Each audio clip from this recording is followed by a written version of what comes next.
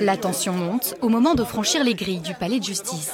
Ils sont près d'une centaine de militants aux côtés des trois prévenus. Après une visite express dans la salle d'audience, coup de théâtre, Félix Benedetti ressort et entame une déclaration publique. Nous refusons de nous présenter devant des juges qui suivent docilement un parquet aux ordres. Nous nous sommes engagés dans un combat juridique que nous mènerons jusqu'à la Cour européenne. Pas question pour eux de comparaître une nouvelle fois devant le tribunal correctionnel de Bastia. Ça fait euh, trois fois qu'on passe en procès en moins de six mois pour le FIGET. Le FIGET, nous, on n'est pas concernés, on n'est pas des, terroristes islamistes.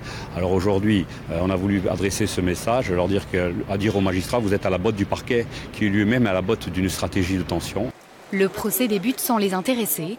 À l'extérieur, le collectif de soutien bloque la circulation et forme des barricades en guise de protestation, sans plus de débordements.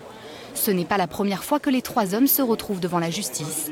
Le 21 novembre dernier, ils ont été condamnés en appel à 500 euros d'amende pour les mêmes raisons et refusent toujours de se soumettre aux obligations du FIGET.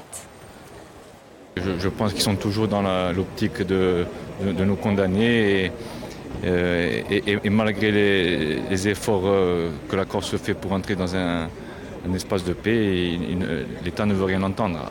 Au bout d'une heure, le jugement tombe. Ils sont condamnés à verser une nouvelle amende, 800 euros chacun. Pour eux, la lutte continue.